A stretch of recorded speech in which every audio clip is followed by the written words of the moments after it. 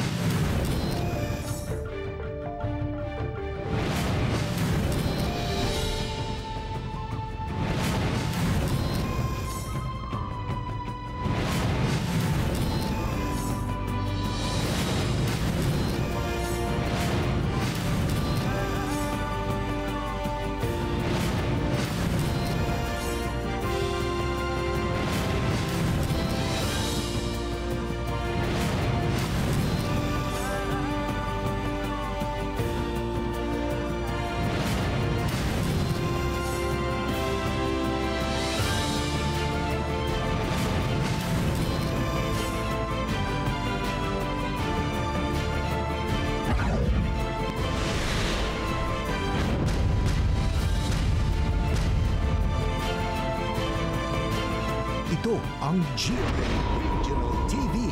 One Mindanao.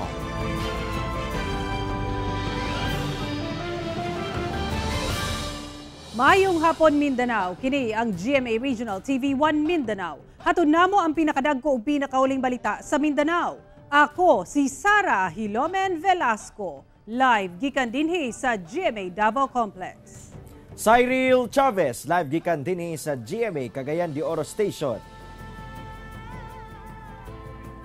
Jess, Tony Humami live gikan dinhi sa GMA General Santos Station.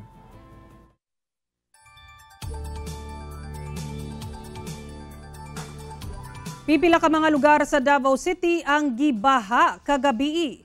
Atong sano ng detalye sa live report ni Kent Abrigana. Kent? Sara nakasinati og grabe nga pagbaha ang buhangin Davao City kagabi atul sa pagbunok sa ulan nga nagresulta usab sa bugat nga dagan sa trapiko sa Dakbayan. Ah, grabe ang baon. Luoy sa... Daw sa pa nakining bahin sa diversion road sa buhangin Davao City kagabi dihang bibundak ang ulan mag alas 6 sa gabi. Sa kuha ni Kervin Kanda, makita kining kotse nga halos nalubog na sa tubig baha.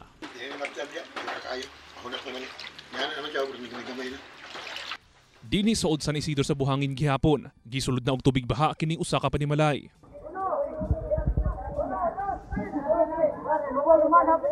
Samtang dinhi sa San Isidro buhangin, hangtod dughan na ang tubig baha ang nasinati sa lugar. Sumala sa residente nga si Roronil Obiera, kini ang unang higayon nga susama kataas ang tubig baha sa lugar. Hinoon, may patigbabaw ang panagiusa sa mga residente nga nagtinabangay aron makalahos kining stranded nga sakyanan.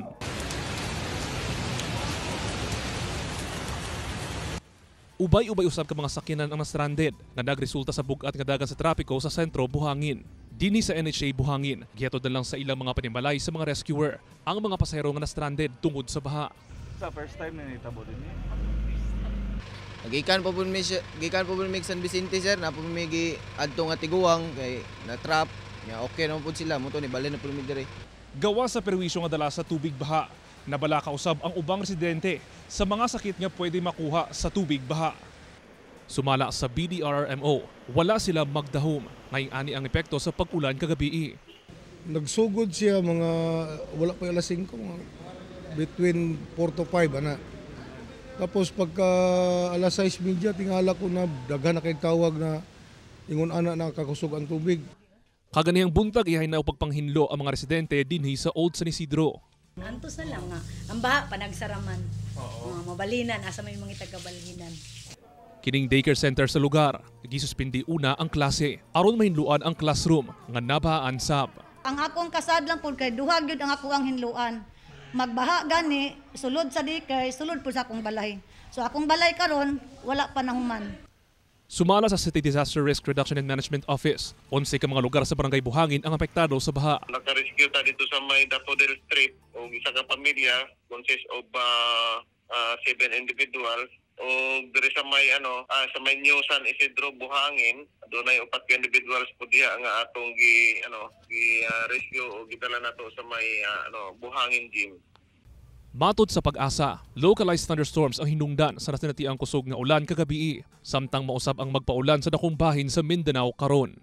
Bantay gihapon ta ng localized thunderstorm sa- storms ilabi na kung naay ah, kusog na pagbusdak sa ulan some areas nga dool sa bukid, ah, bakilid, dool sa suba, Sara sa pinakaulihing assessment sa CDRMO, wala sila natala nga angol atol sa pagbaha. Sara.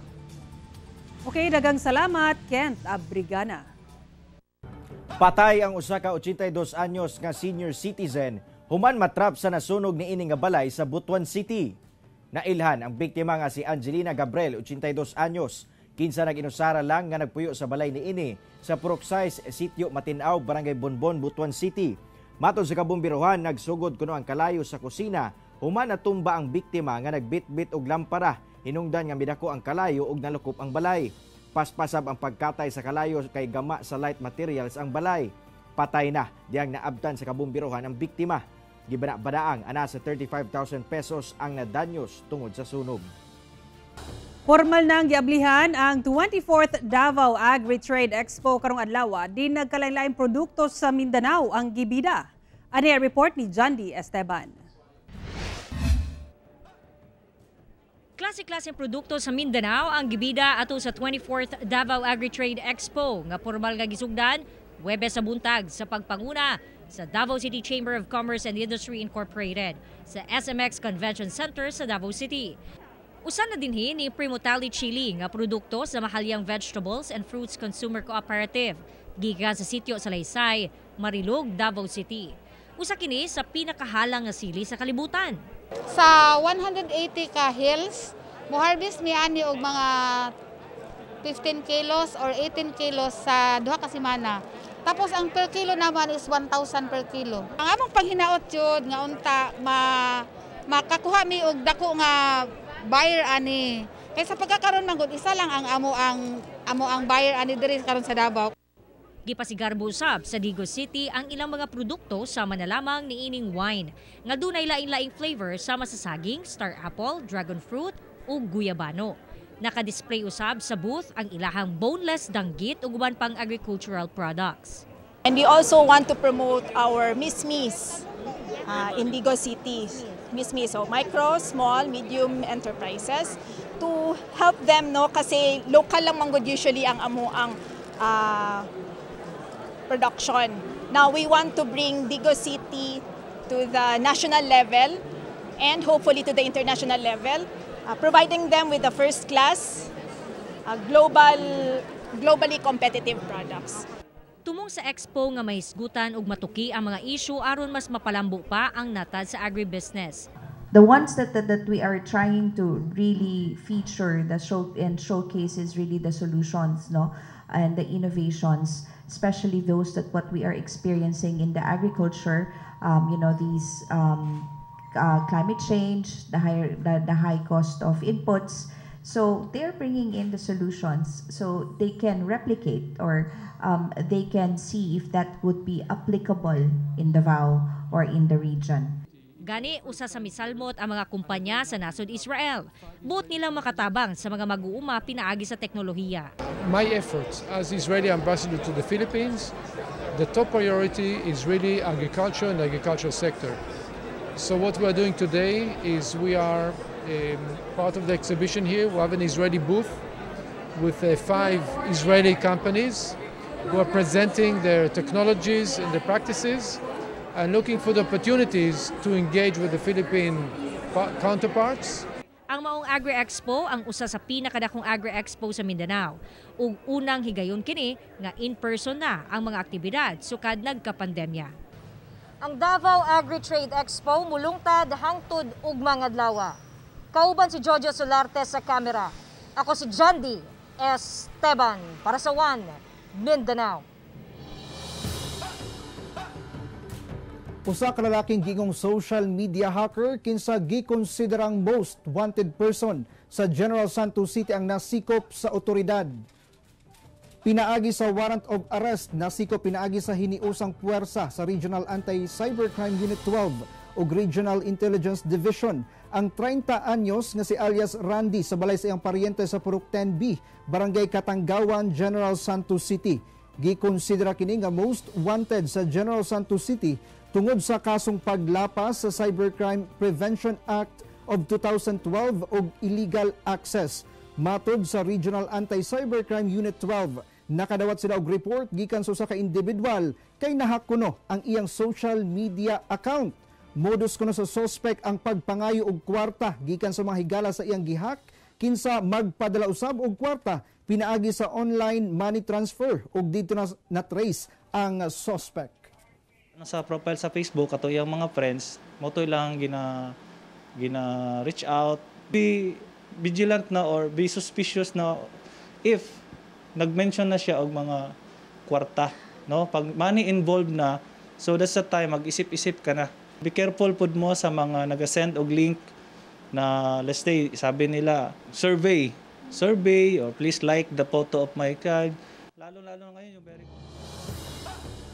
Mga estudyante og magtutudlo sa usa ka tulunghaan nga nahimutang sa bukirong bahin sa Cagayan de Oro City.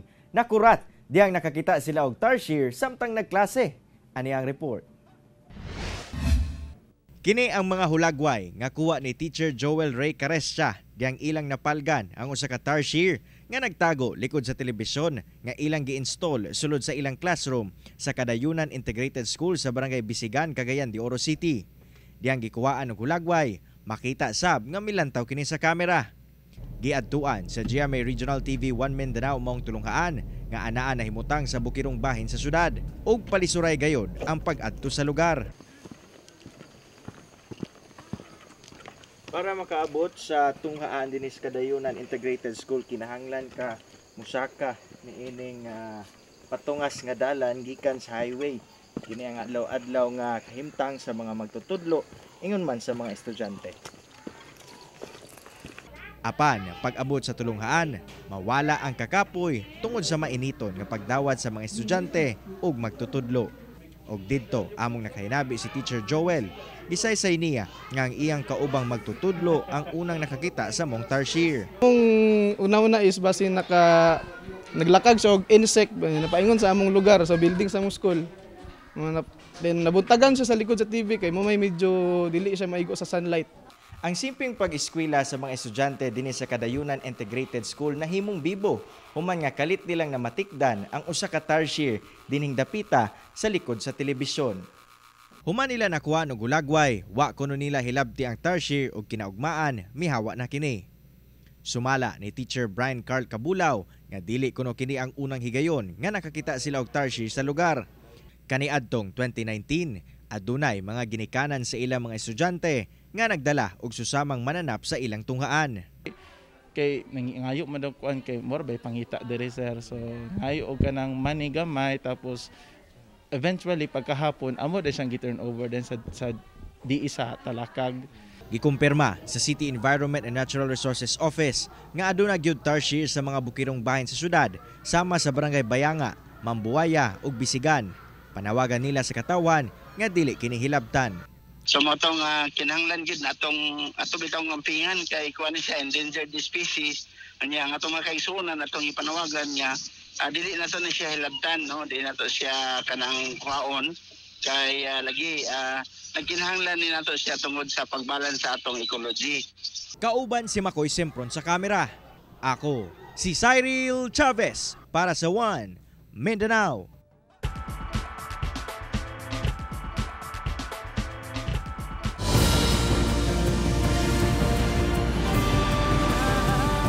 Ito ang GMA Regional TV, One Mindanao.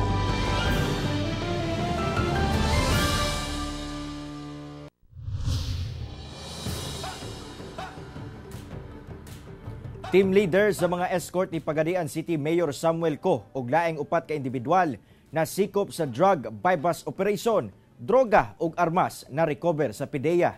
Ang detalye sa report ni PJ De La Peña.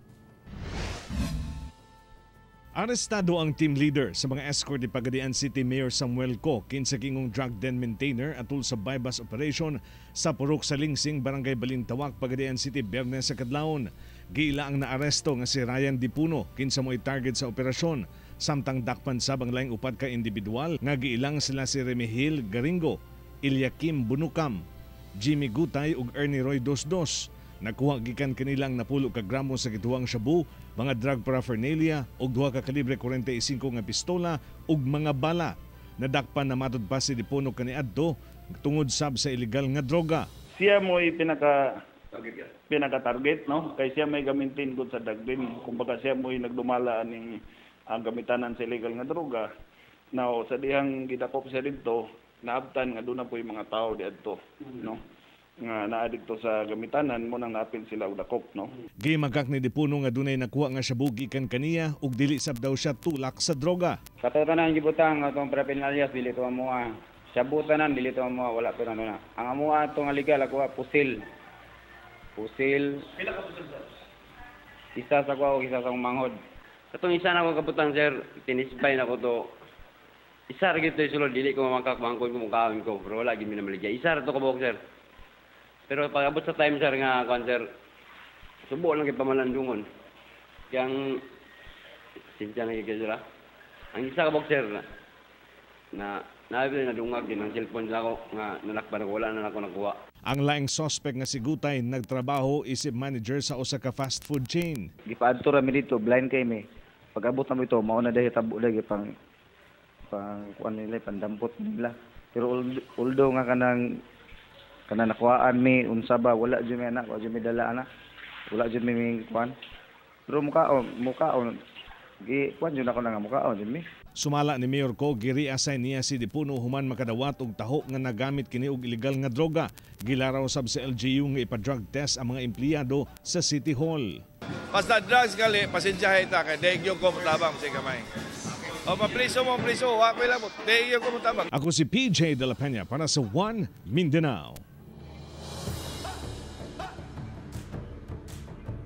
Nagpahimangno ang BFP Jansan sa mga mamalit og Christmas lights nga siguraduhon nga aduna kini ICC sticker samtang pipila sab katindahan sa General Santos City nag-abiso nga posible silang magtaas og presyo sa mga dekorasyon samtang nagkaduol ang Kapaskuhan. Ani ang report ni Abi Caballero. Naabdan sa GMA Regional TV 1 Mindanao si Jong Jong nga mipalit na og Christmas lights. Para barato pa kay madul mahal na. Dinhi sa usa ka tindahan sa Magsaysay Avenue, Barangay Dajuanga South, General Santos City. Kumpleto na ang ilang stock sa Christmas decorations. Ang ilang Christmas lights mapalit sa 69 pesos ngadto sa 299 pesos. Ang Christmas balls mapalit sa 28 pesos ngadto sa 210 pesos. Samtang ang Christmas tree nagkantidad og 99 pesos ngadto 399 pesos depende sa gidakon. Ang Santa Claus poster 25 pesos ngadto 39 pesos. Duna sab sila solar powered Christmas lights nga mapalit og 299 pesos. daghan manggod ka pangita bestseller pod kay para less na sa kuryente Sama lang sab ang presyohan sa maong mga dekorasyon dinhi sa usa ka tindahan sa public market. Gani sumala sa tagdumala sa maong tindahan, dunay pagtaas sa presyo sa mga dekorasyon samtang nagkaduol ang kapaskuhan. Mga customers na uban, mupalit sila kay mas makamura sila. Kay expected naman jud nato na kanang next month na ami maabutay daghan pero may mga kalahian lang jud sa presyo, gamay ra pod. gamay ra po na price. Samtang sa mga gaplano pa lang ang mopalit og Christmas decorations, importante matud pa nga siguruhon ang kalidad ni ini, partikular na ang Christmas lights. Nagpahimangno ang Bureau of Fire Protection Jansan nga kinahanglan dunay import commodity clearance kun ICC sticker ang paliton. Kini aron makalikay na sab sa sunog.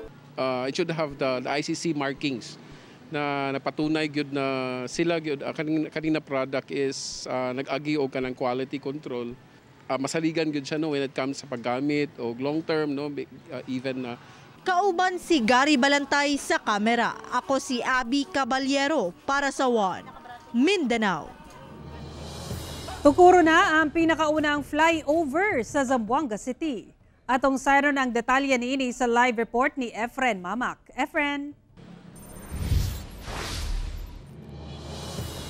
Sara, gikalipay sa mga Zamboangenyo ang bagong proyektong flyover nga dugay na gayud gilauman nga masugdan dinhi sa Zamboanga City. Ginasugda na ang pagtukod sa pinakaunang flyover nga mahimutang sa Santa Cruz Governor Camis Road, Zamboanga City. Ang maong proyekto gipunduhan og kapin 361 million pesos gikan sa national nga kagamhanan. Ang maong proyekto pangunahan sa Department of Public Works and Highways 9 ug sa pagtambayayong sa Zamboanga City Engineers Office. Mulungtad kuno ngadto sa duha ka tuig ang construction niini. So ya pirma kita el executive order para man close el two two inner lanes akin na uh, koste Camins and Tetuan Highway para pwede kani pursige el construction. Dakong tabang kuno ang proyekto sa kasulbaran sa problema karon sa trapiko. 437.7 linear meter ang length ng ano ng ano natin ng flyover natin na 4 lanes equivalent to 4 lanes. Isang papeles lang daw na dapat pirmahan para mag-go na kami. So we will enclose the two inner lanes so we can start. We should be proud of this historic uh, project na ito na first time in Zamboanga City to have this flyover project. Sara gipasabot sa Zamboanga City LGU ang kining proyektong pagbutang og flyover para kini sa kalambuan sa tibok Zamboanga City. Busa malaumon sila nga suportahan kini sa tanang motorista ug tas-on gayud nila ang pasensya sa posibleng paghuot sa dagan sa trapiko. Sara.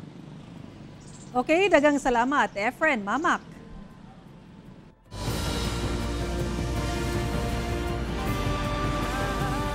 Ito ang GMA Regional TV, One Mindanao.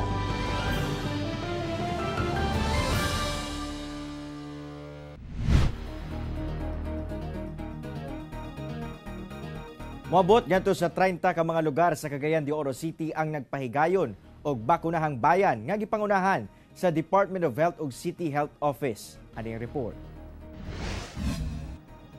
30 ka mga lugar sa Cagayan de Oro City ang pwedeng kaadtuan sa mga individual nga buot magpaturok og bakuna batok COVID-19. Subay kini sa programa sa DOH nga Pinas Lakas, bakunahang bayan nga mulungtad kutob September 30. Nagunang vaccination sites ang Barangay FS Catanico Covered Court, Barangay 27 Hall, City Health Office ug Limkit Kay Mall. Pwede sab magpabakuna sa nagkadayang health center sa nagkadayang barangay sa syudad. Sa Barangay Carmen Health Center, ubay-ubay ka mga kagayanon ang nagpaturok og booster dose sa COVID-19. murag usa man sa siya makatabang sa atong kalusugan ba nya murag ngayon pud sa atong sa atong katilingban nga mo pakwanta kay kon biya kuning nabay di ba na mataga nabay abay covid karon? Mas luhuet ang unsay maayo para sa atong uh, health. Para maka wantod makahatag na ato og kanba ehemplo sa uban nga atong dili desidido maka-decide nga pag pag-vaccine Doon say libreng 3 kilos nga bugas ug multivitamins ang tanang senior citizens nga magpabakuna og first o second dose og first booster shot ingon man ang mga 12 anyos pataas nga magpa first booster. Alang sa mga nag-edad og 5 hangtod 11 anyos nga magpabakuna, makadawat sila og multivitamin syrup Target sa CHO nga makabakuna og 5,000 ka mga senior citizen sulod sa lima ka adlaw. Sumala sa Department of Health Region 10, target nila nga makabot ang 90% vaccinated senior citizens sa first two doses o 50% sa mga 12 years old pataas para sa first booster dose. The vaccine, kapila na kibalik sa una, will never protect you from getting COVID. It will protect you from dying and having a severe or critical disease. Kauban si Makoy Sempron sa kamera. Ako, si Cyril Chavez para sa One Mindanao. Mga organic ug cruelty-free products gikan sa mga Lunhaw awardees gibida sa Davao Lunhaw Expo 2022 sa Davao City ato sa month-long celebration sa Lunhaw Month. Ani report ni Kent Abrigana.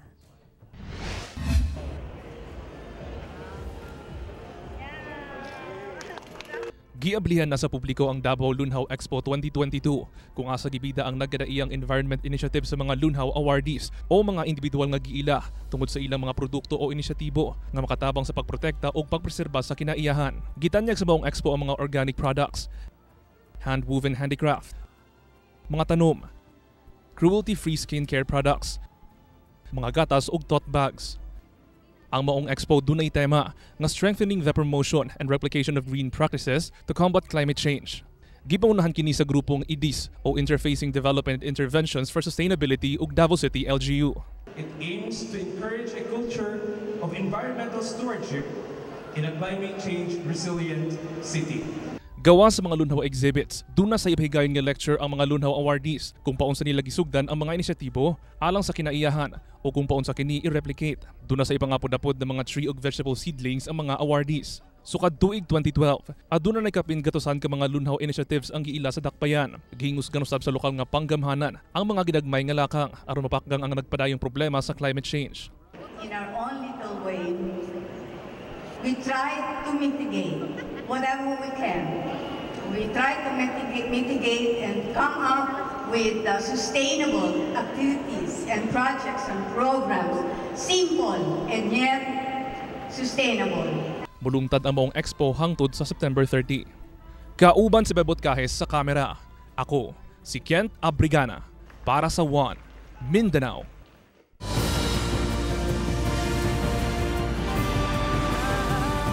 Ito ang GMA Regional TV, One Mindanao.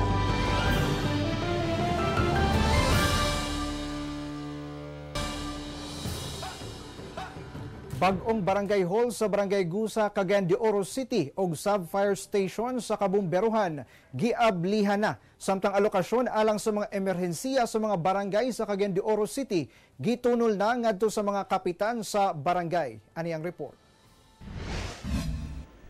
Gibuksan na ang bagong barangay hall sa Barangay Gusa sa Cagayan de Oro City ug lakip na niini ang bagong sub-fire station sa Bureau of Fire Protection sa lugar. Ang bagong barangay hall nagkantirad og 10 million pesos ug adunay tulo ka andana kung asa gipahimutang ang mga nagkadayang opisina sa barangay.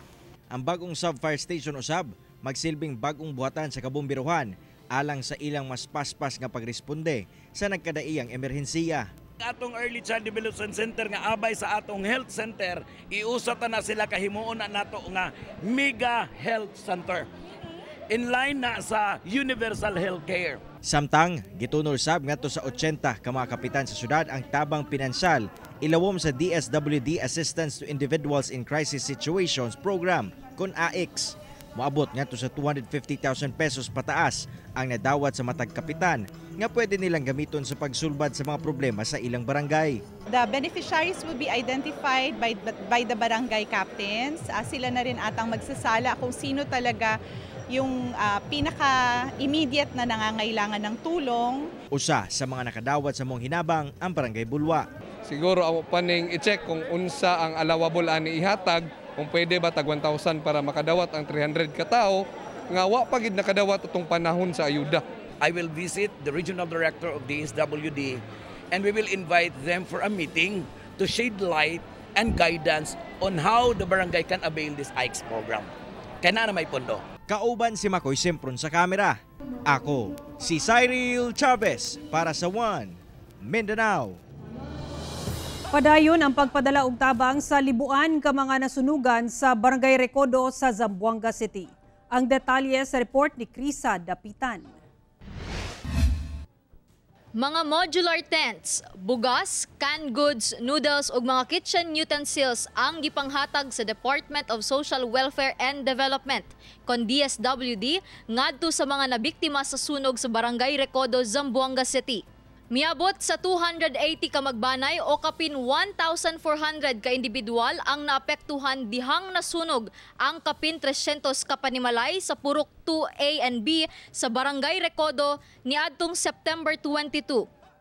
Nagbigay po tayo ng 250 na modular tents. Po, we have provided 280 family food packs and family kits po sa ating nasunugan. We are ano man, ang continuously providing assistance Ang ubang grupo nagpahigayon sub og feeding program sama sa lugaw matag buntag. Mapasalamato na mga nasunugan sa mga mitabang kanila. Oh, mabuti naman na yung buhay namin dito. Yung Pagkain, grabe, ang dami, ang dami po yung tulong. Araw-araw po, walang problema. Healthy naman po lahat.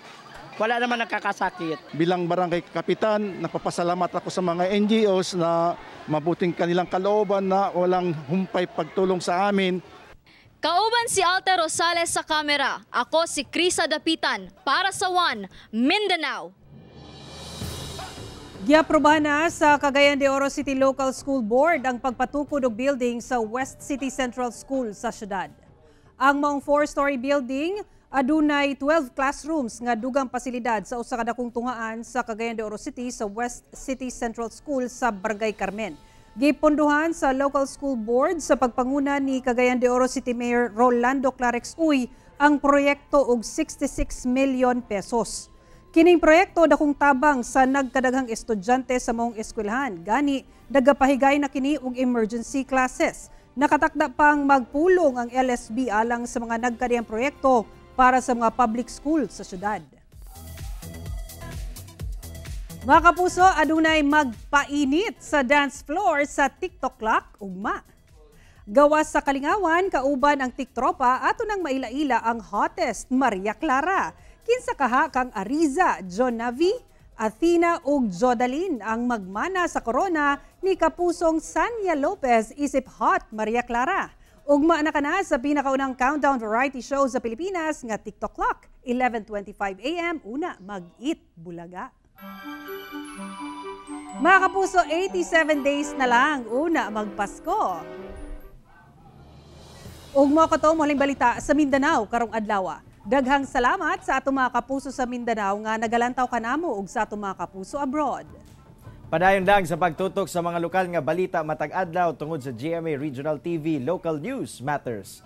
Ako si Cyril Chavez. Hangtod ugma pohon. Ako si Jess. Tony Humamil. Kini ang GMA Regional TV 1 Mindanao. Sara Hilomen Velasco, buong puso para sa Pilipino.